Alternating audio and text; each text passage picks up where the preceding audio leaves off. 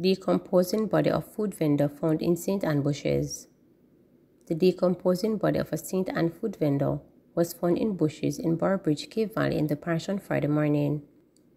He has been identified as 31-year-old Craig Campbell of Boroughbridge. A police report indicated that around 10.57 a.m., residents stumbled upon Campbell's body and summoned the police. On the arrival of the lawmen, Campbell's body was found in the bushes with what appeared to be gunshot wounds to the back of the head. Investigations are ongoing. This is the second decomposing body that has been found in Cave Valley since the start of the year. On Friday, January 12, the decomposing body of 55-year-old Gwendolyn Thomas, otherwise called Pamela, of the bottom of Cascade District, also in Boroughbridge, was found in her house. The cause of her death is not yet known. Christiana crash victim identified.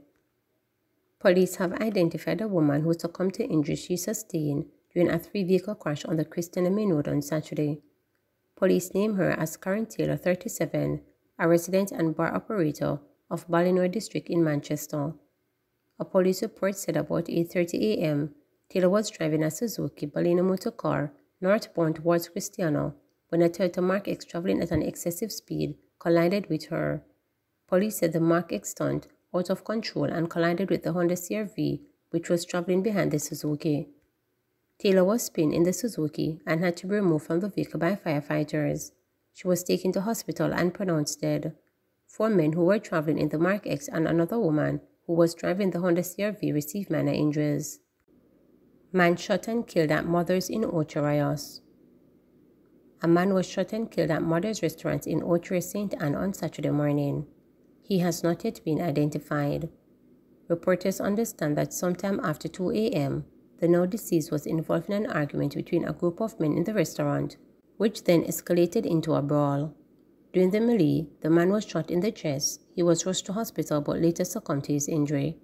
The incident follows a gun attack at Tastee in Crossroads St. Andrew on Thursday, which left an employee dead and a JDF soldier injured. Boy chased and killed in May Pen gun attack. Police have identified the boy killed during a gun attack at Church Street in May Pen, Clarendon on Friday night. He is 9-year-old Shamar Walker, a student of railway in May Pen. A 29-year-old female vendor was injured during the incident, the police revealed. Reports were that about 7.45 p.m., Shamar and the now injured woman were among a group of people at a shop watching television when a man came in the yard. Shortly after, the police said the man pulled a firearm and opened gunfire at the crowd. Shamar ran from the yard and on the street and was chased and shot in the left side of the chest. When the shooting subsided, the vendor was found suffering from multiple gunshot wounds to her body. Residents rushed the child and the woman to the May Pen Hospital, where Shamar was pronounced dead on arrival. The woman was admitted in serious but stable condition. No motive has been established for the shooting, the police said. Woman injured in Westmoreland shooting says she won't attend any more parties. One victim from the early morning shooting at a party on Barrack Street in Savanna-la-Mar, Westmoreland, has decided to avoid such events in the future due to the trauma she experienced. The woman was a patron at the event where five people were shot and injured shortly after 1 a.m. on Saturday, while a motorcycle with two men aboard drove up and opened gunfire at the crowd. She was shot in the lower right side. In relaying her experience, the woman shared that she did not initially realize that the explosions she heard were gunfire, but ran when she saw other patrons at the party move in. Me did stand up with my friend them, and we talk, and me only hear pow. So me don't know it, it was anything. Me stand up same way, because me say maybe a fire rocket them a bus. When me hear pow again, me see them start run off, so me start run too and when me run and go back up in a one tree, then me stand up. And when me look, me hear everybody a say, them get shot. And me a walk round and I look on who get shot. After that now, me wipe me face and me see blood pon me hand. And me say, where blood come from pon me? And then me side start burn me and realize say, me get shot, the shot glaze me, the woman recounted. She said that she was in shock and a co-worker who was also attending the event brought her to the hospital where the reality of the traumatic experience started to set in. When me dey over by the hospital and me sit down and picture everything and me say, Father God, me give you thanks because it could be worse because a couple days from now will be my birthday and mother dead and don't see my birthday and dead leave me two picking them, the distraught mother said. She told reporters that she usually work at nights, but her sister-in-law is always encourage her to go out. However, after this experience, the woman said that will not be attending any more parties. To tell you the truth, this kinda show me an example. Me work at night, but sometimes my sister-in-law say, every day you dress up and go to work. You can't just go out one time. And me always say, girl, me have work for go because me have two picking if mine and me have to work hard so that me can sit down and look and wonder how me I could go if my putting them behind me. So me not think and go on no party, she said. The promoter of the event disclosed that she has been hosting the annual party for over a decade. She said that it is part of her birthday celebration and this is the first time that a shooting has taken place at one of her events, adding that she is also traumatized by the incident. When asked what she thinks could have been done to reduce crime in Westmoreland, the promoter said that when states of public emergencies are implemented in the parish, things are calmer. Less things happen when we have more police on the ground, she stressed. It's better when them they're on. It's 100% better. Me feel police and soldier fear walk the streets like everything first time, she added.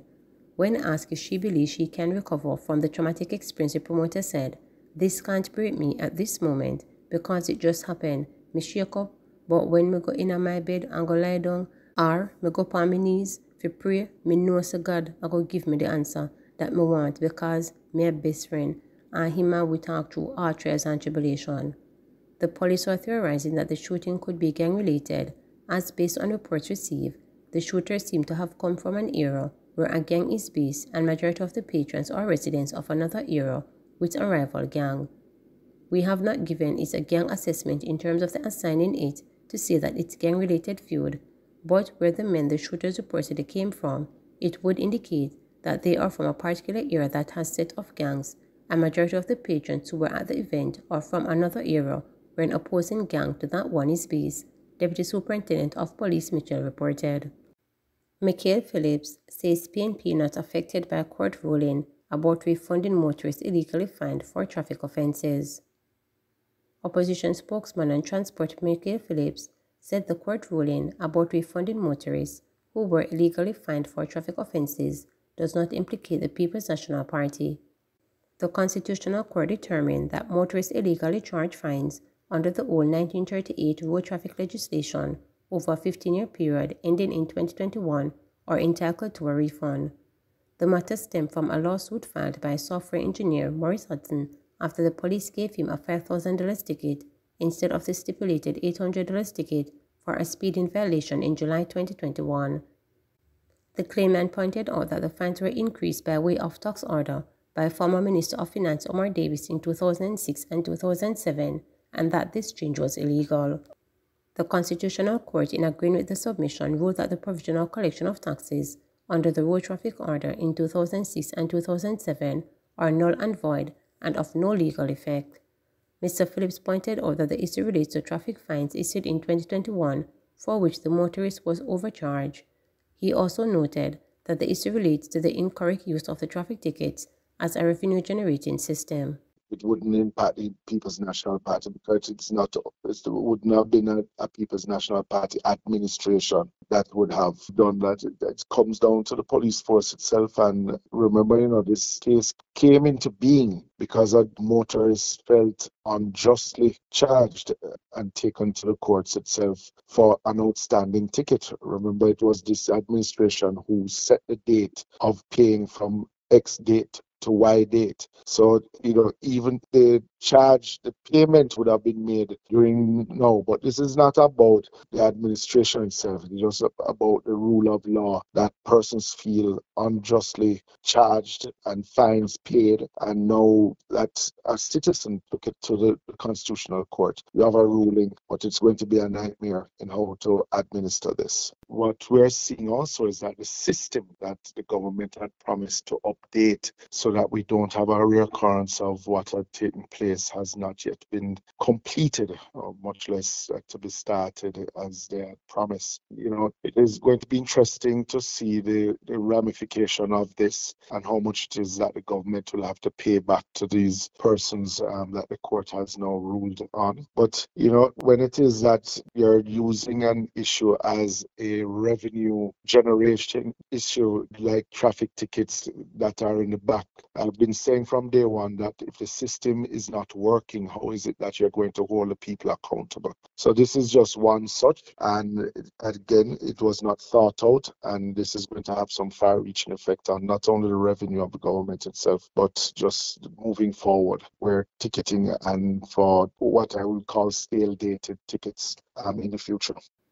Man implicated in attempted robbery of delivery workers in St. Catherine.